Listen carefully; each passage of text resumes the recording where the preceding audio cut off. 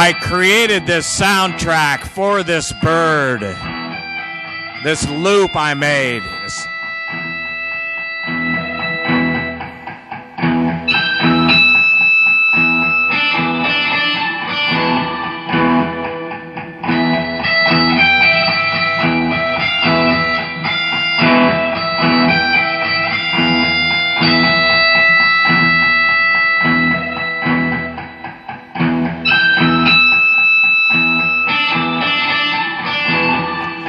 I'm not sure if it's evil or if it's friendly.